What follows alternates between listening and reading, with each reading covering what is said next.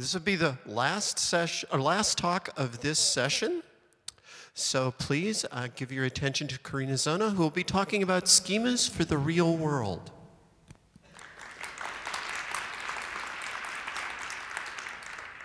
Thank you. Thank you, Naomi. Um, as you heard, my name is Carina C. Zona. Uh, you can find me all over the internet as CC Zona. Uh, my slides aren't up. How do we get those up? Okay, there's mine. Okay, it looked too much like yours. Okay. Um, so I wear several hats. First of all, I'm a community manager, I'm a developer, and I'm also a certified sex educator. I used to work for an organization called San Francisco Sex Information, otherwise known as SFSI, and it took me about a year to learn how to pronounce that. Um, SFSI has a really simple mandate to answer any question as long as we can do so accurately, confidentially, and without judgment. And as you can guess, when people are given the opportunity to ask literally anything, um, they do. And you'd expect that to be some pretty far flung questions, but the reality is that they actually tend to boil down to something really simple Am I okay? Do I belong? Are there people like me? And that sense of people not being sure that their identity is okay and valid was really surprising to me. And, you know, here I am, this person who's both a developer and a sex educator, and I think most people see those things as really far apart, but I don't. I see connections all the time. And, you know, maybe sometimes if you think about it, you will too. Imagine walking through the world knowing that everyone's first assumptions about how you see yourself, who you love, and what feels right for you are completely wrong. Now imagine signing up for a cool website and then being required to select an option from a drop down menu that doesn't include anything that represents you. You'll feel defeated, You'll want to argue that whatever they think they're learning from that drop down menu, it's not really true. You'll want to tell them that they're adding to your humiliation by making you do this. You'll want to tell them that they're missing a huge part of you. Users are giving pushback to assumptions that leave them out.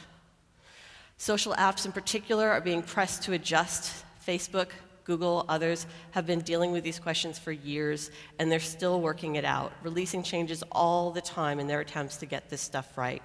Even this month, even this week, it's constant. So if you feel out of depth along the way, just know that you're not the only one at all. All right, slide. Show up. What's going on here? Okay, we have to wait for the whole timer to go through again. This will be fun.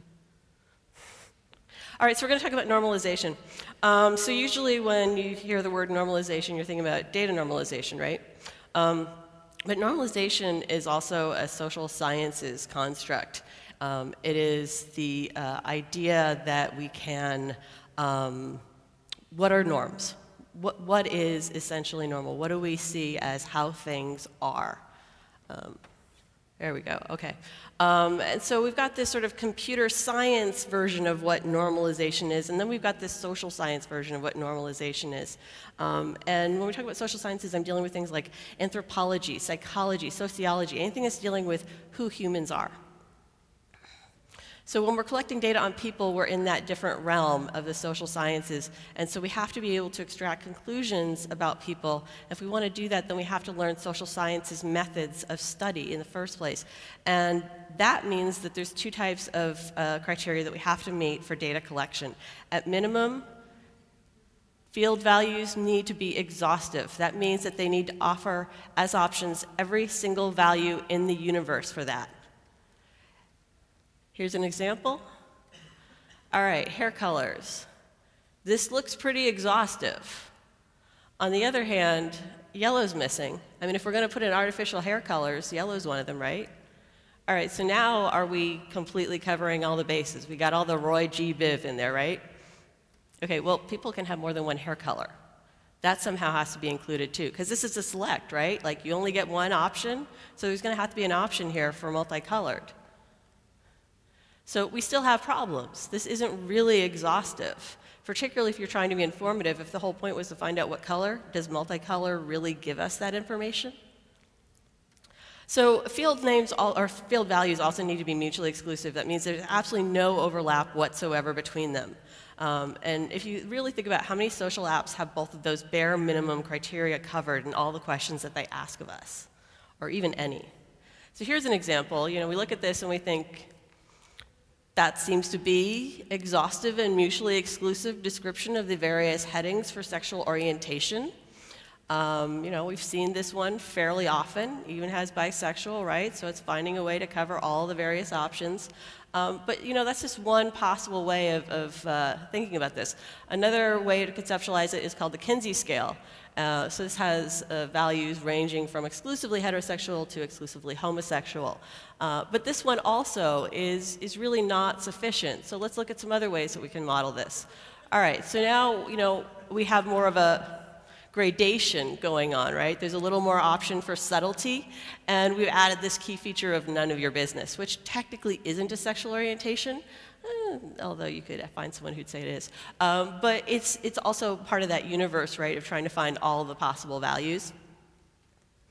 But that's lacking too, because there are a lot of other ways to think about sexual orientation. We've really moved beyond this idea that gay and straight and bisexual somewhere in the middle are really enough to cover all the possibilities. Um, in fact, even these really don't cover all the possibilities because the possibilities keep on growing. Um, but each of these is a different mental model of what does normal look like. What are all the possible values in the world? Um, and they're all still inadequate to express that real world complexity. So we realize that the world has great variety. Of course, we understand that. It's just that it's hard to figure out how to model it. So, sociological normalization is that construction of social norms. Conflating two different kinds of normalization works out just fine if you only want users who are among the select few people who belong to the idealized norm, right? Most of us would like to have more than two or three users. So, that's not really going to work. Uh, what we lose track of is one of the core tenets of database normalization that we're supposed to mirror real world concepts and their interrelationships. That's the basic definition of doing normalization.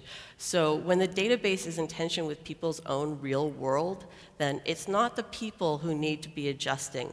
We're the ones who need to adjust. So why is it hard for us to do that? At first glance, you know, I think we just look at stuff like forms and we think that's easy. We do forms all the time. We fill them out, we make them. This is just, this is part of the air we breathe. There's nothing surprising in forms. But we get up by some flawed, we get tripped up by flawed premises. And the first one is the premise that deeply personal stuff about humans can be reduced to lists. I love XKCD. There's an XKCD for everything. Um, and second, there's assumptions that canonical lists for everything can exist, or that if it doesn't yet, then surely we can just make one.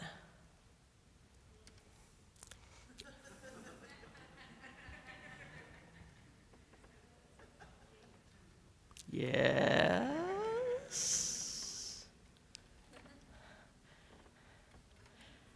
I forget how many this is. It's around 200.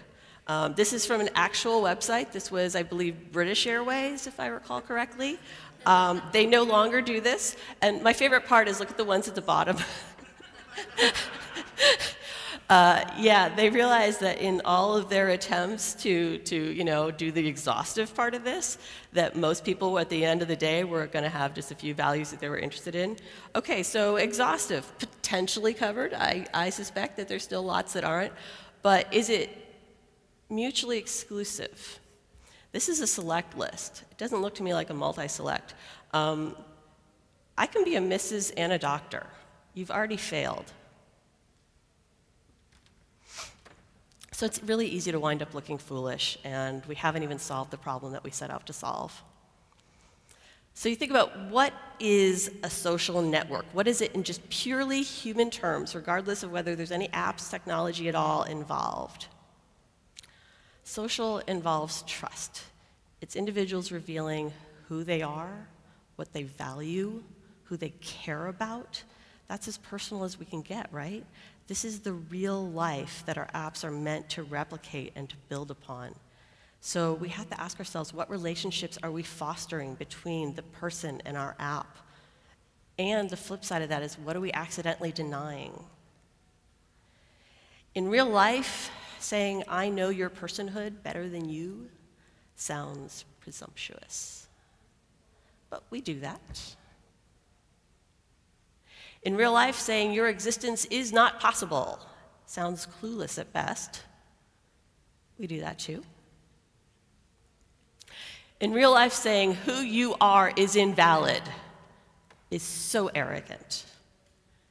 And yet we're fine with doing that. Data modeling is psychology, but it is also philosophy. It reflects individual beliefs about reality rather than reflecting reality itself. It rejects reality's complexity and richness, and that's not what we're setting out to do. It's definitely not the community we set out to build. I love this quote so much. I think I only truly understand how complex the real world is when I try to model it in a database.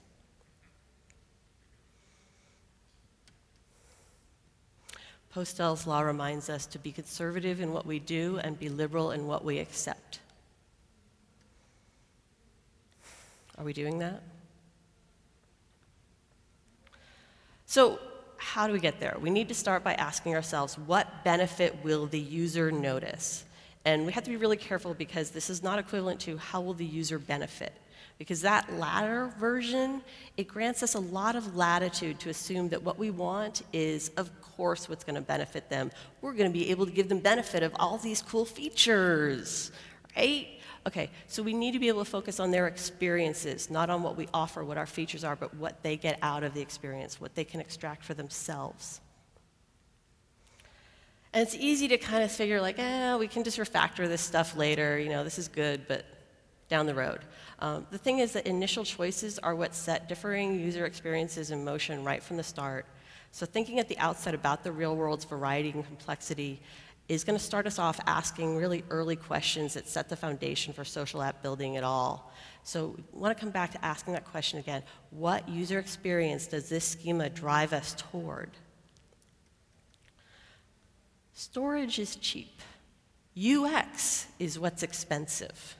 If you need to parse what a person gave you, store the original value alongside it. Use the database schema itself to embed institutional memory of every field's assumptions.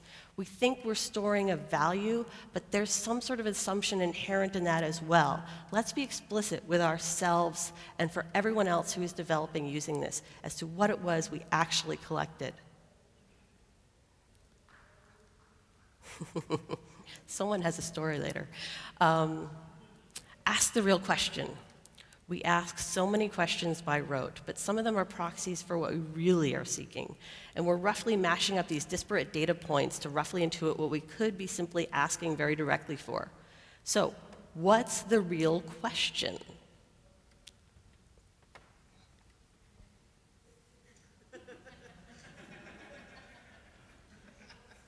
yeah. All right, so what is the real question behind this? Um, could it be, were you born before 1991? Um, I'm not sure what would be driving that question. So right away, we still haven't reached the real question. What are you, what are you trying to figure out with that? Maybe the question is, are you over 25? But that also tells us that there's some reason why you need to know that this person is over 25 or what year they were born. What is it you're trying to get at? Asking the real question allows us to be least nosy, least annoying, most specific. And there really isn't only just one way to deal with all this stuff. There's no one right answer. That's not what I can give you today. But because the nature of a dilemma is because users vary, and so do their social worlds. Evaluating user perspective is what gives us focus. We always need to understand varying approaches, how to model for different contexts, what trade offs each of them brings on, and what's the obvious, everyday, pragmatic question which approaches best serve this app's business requirements? This is not about idealism, this is about how do we service the product, the intentions, the outcomes we're seeking checkboxes, radio buttons, select menus, ranges.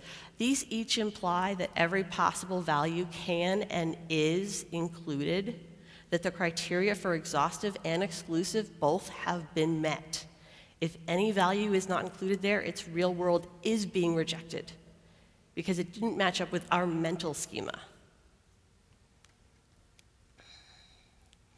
So checking a box has real big appeal. It's a one-step action, right?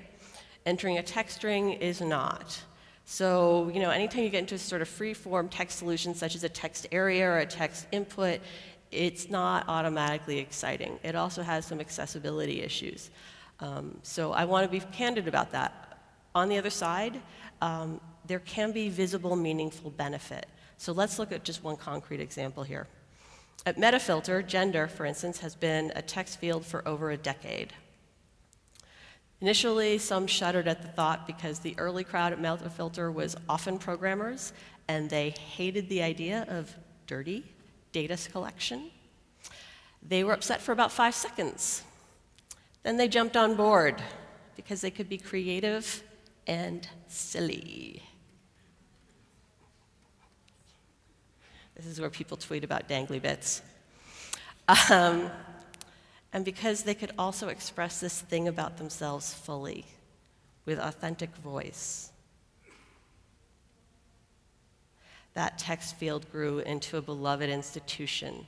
Whatever you as a user chose to put in that field says something revealing about who you are. That you're allowed to put in anything or put in nothing at all says something revealing about how Metafilter envisions community. That schema's trust in users was the foundation for Metafilter users to ask, can we please share more about ourselves? Will you let us do that here? How many other social apps have that kind of relationship with the users. So here's a counterexample. 2010, diaspora was also turning gender into a text field. And just like on Metafilter almost a decade earlier, users felt really set free by that. But there's a really important distinction in this. Metafilter is closed source. It was for a long time run by just one developer, and it's entirely in English. Whereas Diaspora had a really different set of needs. It's open source, huge community of developers, and it's international. So some of its developers were not amused at all. It's fair to say that this approach really will wreak chaos on internationalization of pronouns. You don't have something to jump off of. And here's what I can say about that. So what? Internationalization of pronouns is hellish, period. We get no safety net.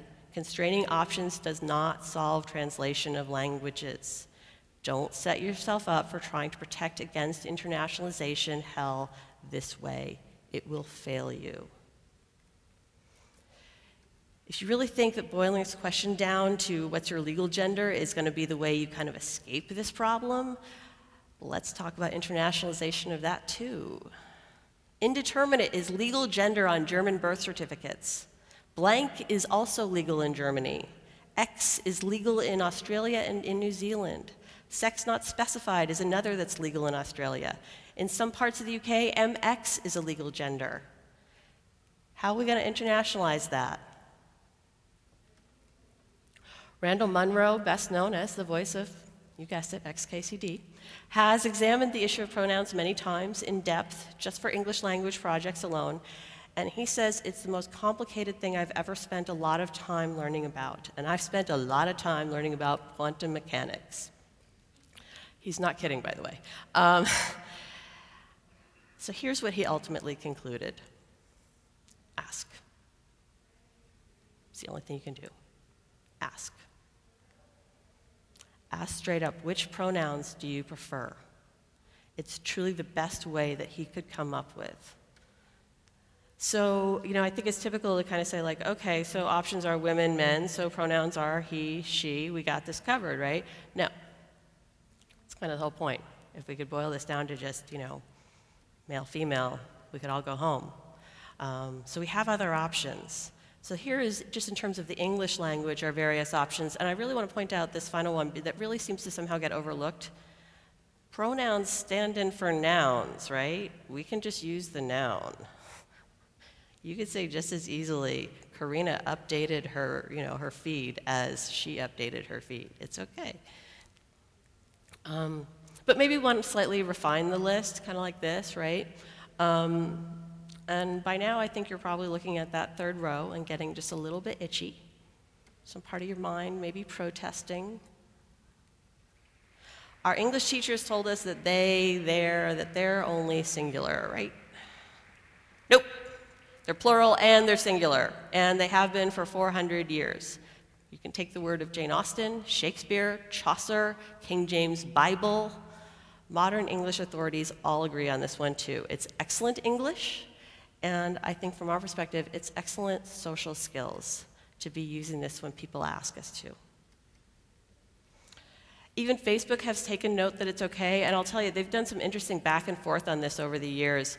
Um, it used to be that you had to do a little bit of hacking uh, of a form in order to get the, the neutral pronoun. Um, more recently, they've actually made this an explicit option, um, but this particular possibility was available for at least six years, uh, and they've been doing fine. Um, interesting enough, in 2008, they actually had a lovely blog post saying that this was impossible. Um, so this is the more recent version of how they've been dealing with, with gender. Um, it used to be that you just had male-female. There's now a third option of custom, uh, and then when you do that, you get much more uh, possibilities on the form. Um, one of them being those pronouns, right? So you can choose from three possible sets of pronouns, and you also get this interesting new field um, that allows you to select other values. They launched with, I believe it was 56 additional gender values. And what's interesting about custom is it's not just freeing you from the labels, well, some freedom, um, it also lets you have more than one. So this is an interesting way of hybridizing solutions. And think about what the various implications of each of these choices are. Um, let's look at something else, names.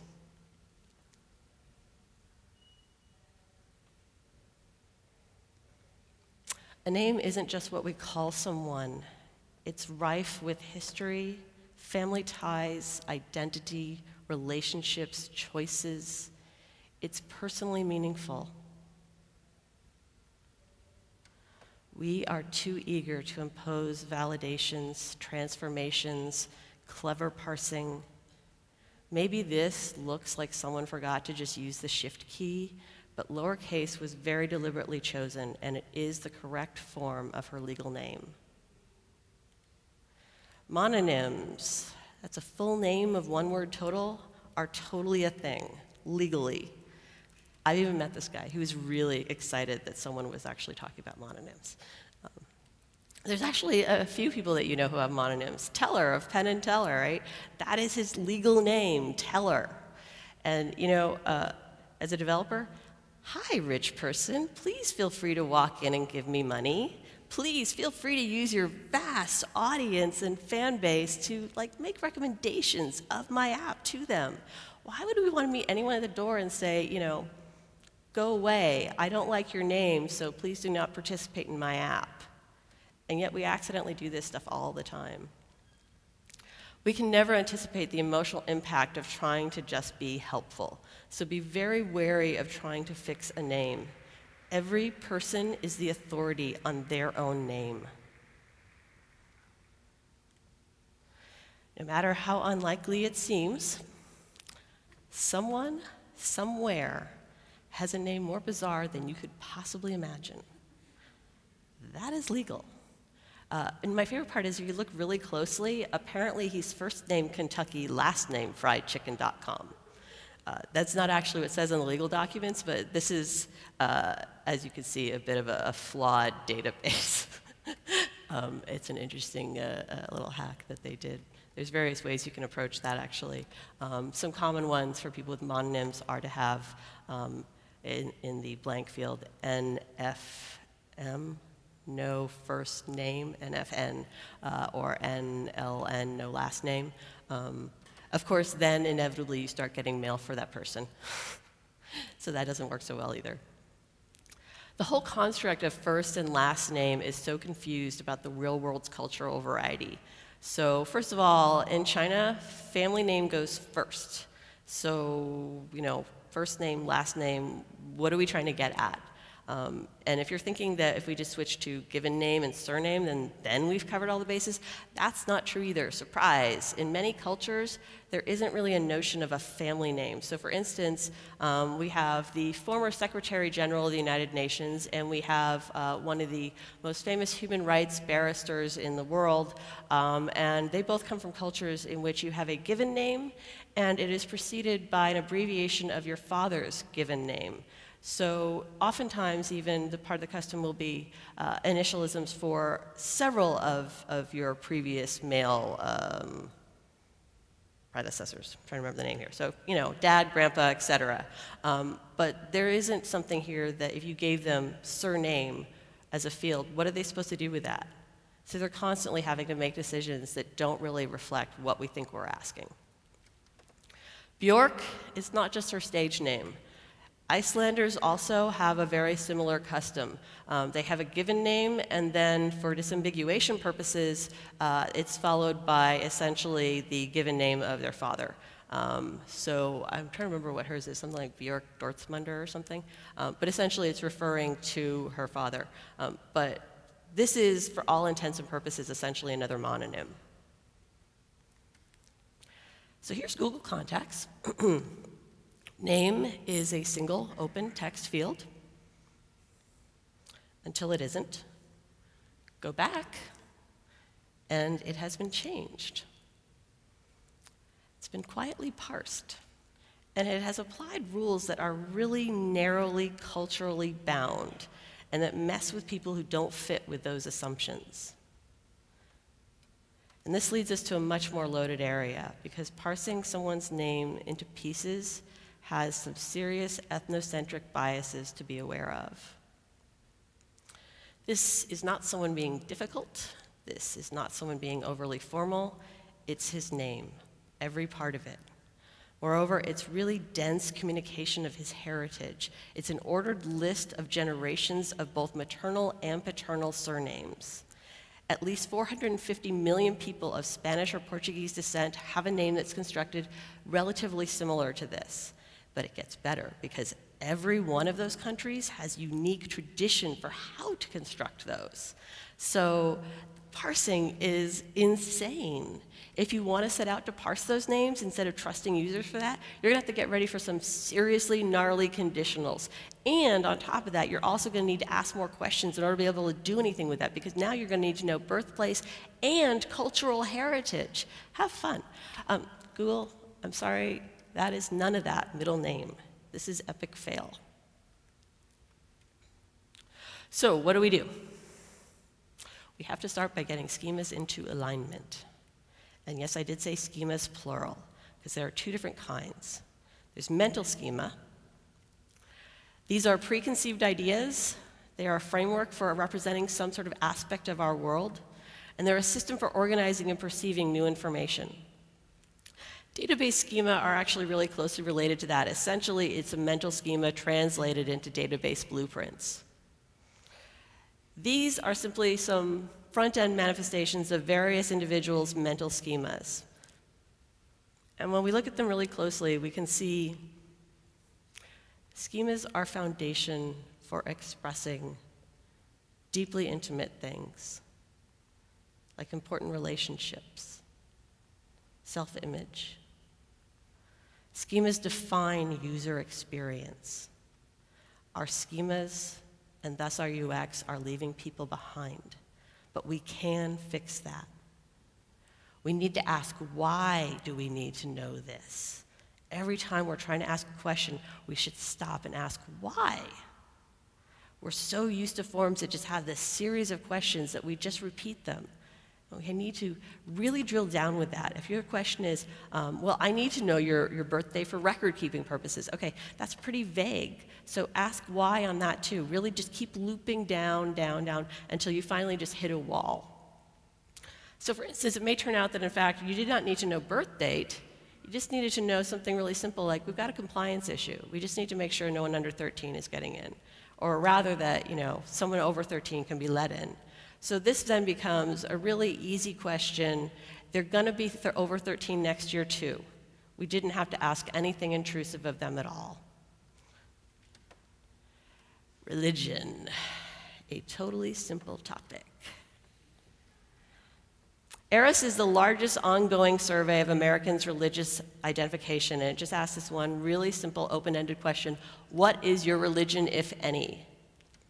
And that nets over 100 unique answers, which, if you're making a list based on that, is tricky. Remember the titles. There's no form element that's going to make it easy for our users to pick themselves out of a list that has just that many possibilities. ARIS found, though, that they could compress that down to about 13 major categories. And that's a more manageable list, right? Um, we could use that for a form probably. But the thing is, if you look really closely at those numbers, some of them are kind of edge cases, so we'd rather focus on the genuinely major groupings. Which brings us down to this actually. At least a quarter of Americans are some form of Christian denomination, so we're kind of done here. Every other religion would just be clutter. Those are edge cases too. And then there's really kind of crummy data sitting with it. We'd probably call, you know, one or more of those essentially null categories, right? So we could fix that too, which focuses attention on a problem here. One in five are not useful answers from an advertiser's perspective, right? Or for our own analytics, which are usually the two big reasons that we like to gather this stuff. So the nullish values, it's time for them to go. So, what we're left with here is a good, clear list. It covers all the big stuff. When you get reductive enough, for Americans, religion is in fact a binary, which from a storage standpoint is fantastic because now we're down to a Boolean score. We would not do this. Yes, it covers the biggest categories which totally leaves people out on something that is so important to them. On both sides of this reductionism, there are people being made really angry and alienated by this. People aren't edge cases, ever. They push back on apps that treat them that way.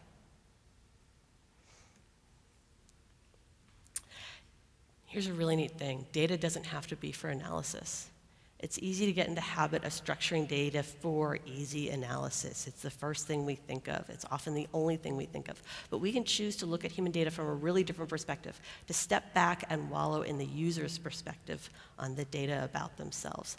Data can be sheer expressiveness. Data has character, individualism, distinctiveness. As developers, we have such a vision of what a good code base should be, should not be, and in the most sensible of ways, we often are arriving at solutions that are factually truthy, but they're far removed from real life utility. False premises that keep delivering us data that is helpless to do anything but reinforce, reinforce those false premises in the first place. Some people will lie if that's what it takes to get past our barriers. Antagonize a user, a user will act.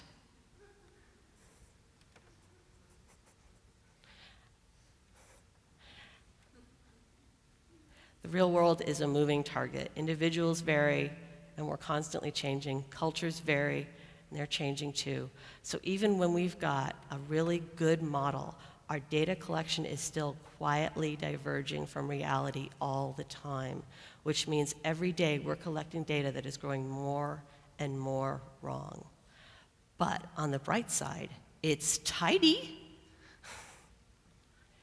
We put so much pointless work into catching exceptions, doing field validations, string transformations. We're doing a ton of extra work that doesn't net us genuine data and has no obvious value in the user's eyes.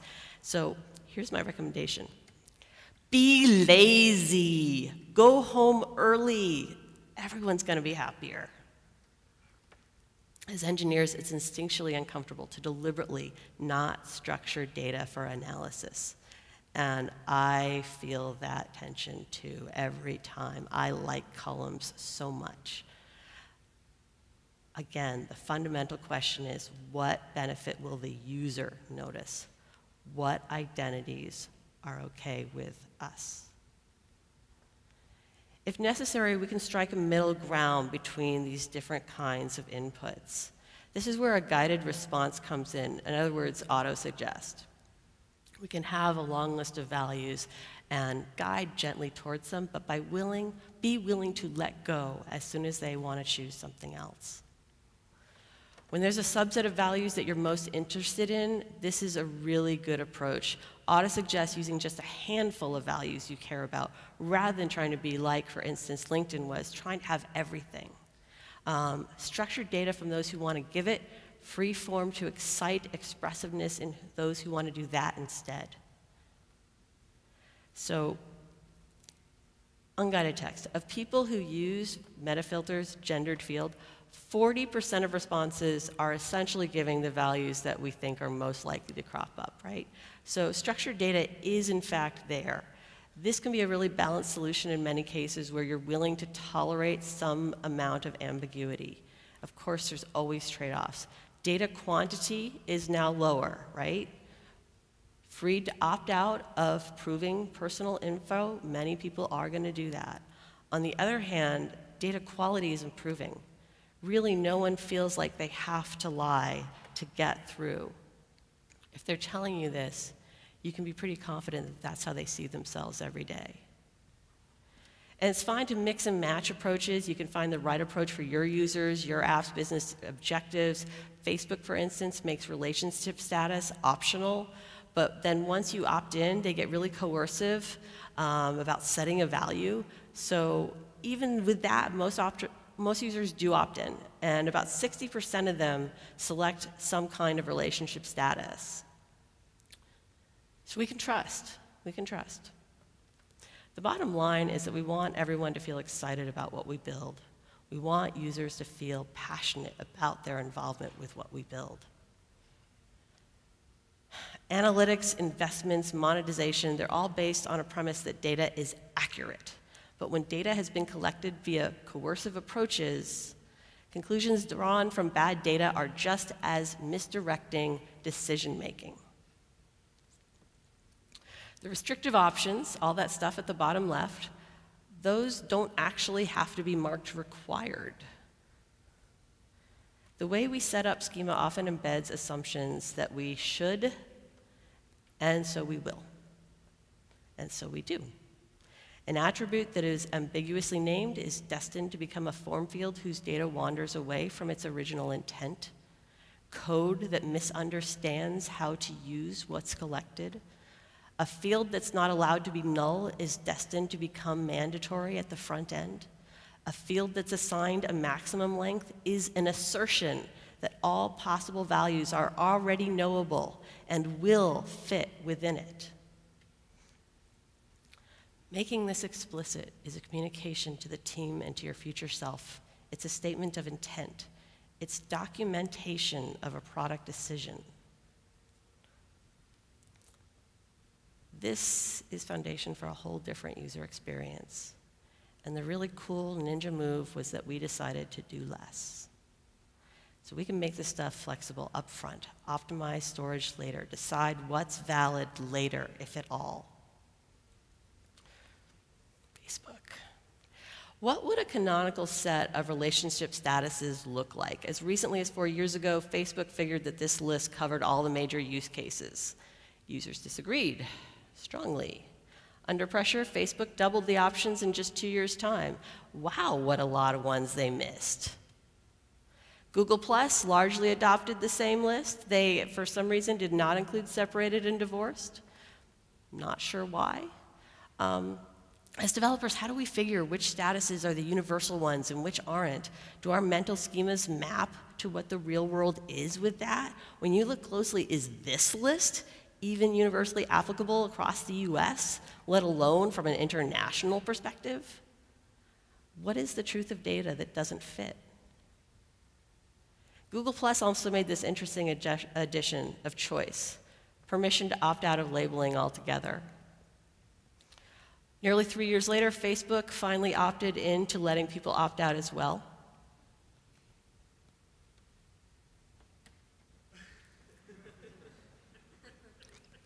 There's always one more to add. Oops, sorry. Um, so, allowing people to identify their relationships with values of greater personal significance, this is what drives people to accept a user experience. Google's mental schema communicates something really explicitly. I don't want to tell you. That's a string value, whereas Facebook's mental schema implies a null in what should be passed in. So naming a thing is creating a scope. The assumed validity of a field's values get constrained as soon as the field itself is named. Its paradigms, its possibilities, they've all been set. These are important differences in what is capable of being measured. Naming fields with great specificity upfront makes analysis more powerful later. Relationship status, that's one way of looking at it. What's another? Singleness status. Singleness rating. These are all different ways of thinking about it. Marital status. All right, so if everything is related to marital status, a bunch of these actually go. You either are married, aren't married, preparing to be married, used to be married. Legal marital status. Okay, well, maybe we can add a few more here. We go through life experiencing many relationships, and they don't all have predetermined labels, they don't all have neatness. New relationship identities don't necessarily leave old ones behind. Why should anyone have to feel like they're required to disavow a relationship that's meaningful for them? That cuts so deeply sometimes. Is a widow only widowed until she resumes dating? Why does she have to be confronted with a decision like that just to use our stupid app?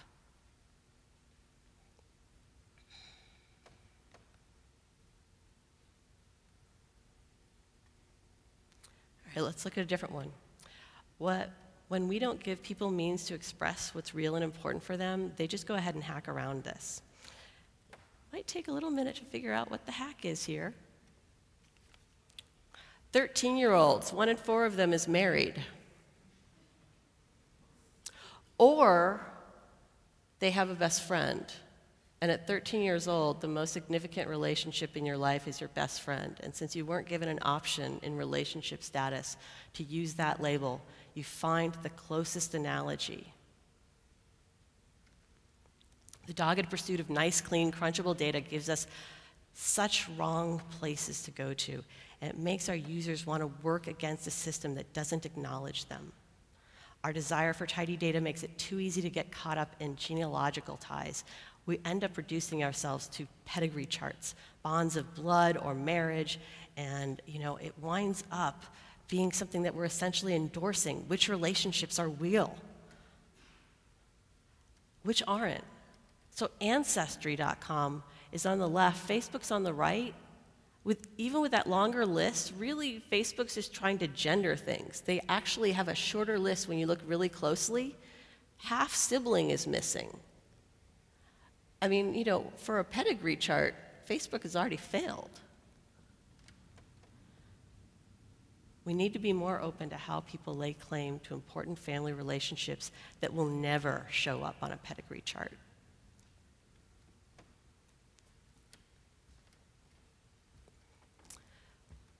Spot the flaw.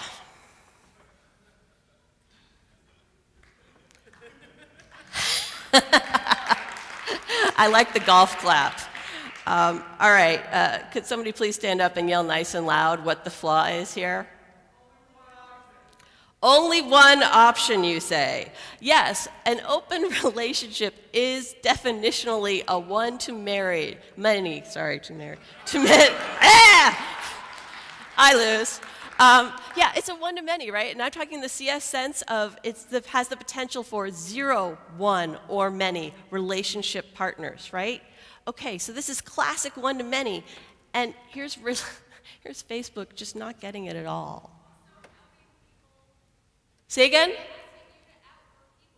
Yes, yes. That is, that is indeed another issue. And that's an issue actually with almost everything.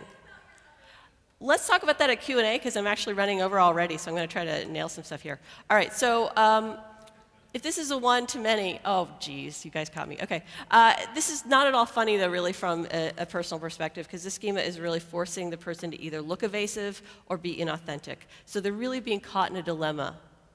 This is what happens when we try to throw more labels at a problem instead of examining the schema's basic assumptions. This is really intriguing to me the notion that has one is a code smell, that one to one is a code smell. One to many is about a potential for more than one. It's not a guarantee that there will always be many, it just makes space for the possibility.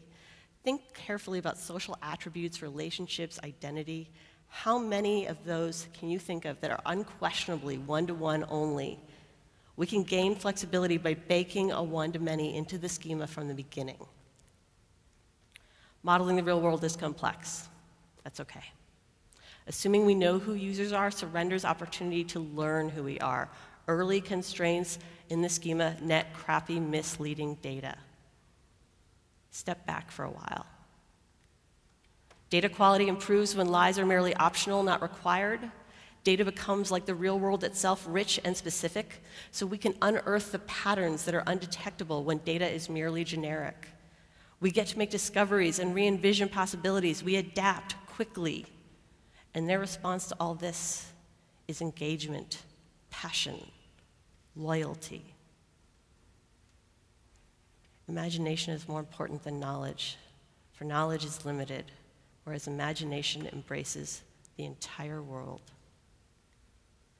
People reveal themselves in their colorful individuality.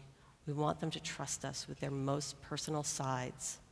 So our schemas have to be able to accept people's real world, regardless of whether we imagine it possible. Thank you.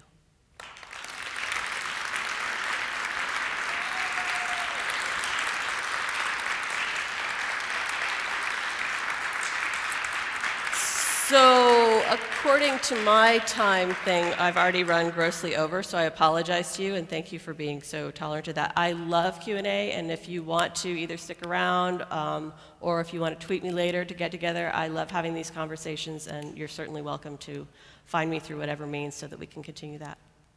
Thanks. Okay, thank you. This ends this session.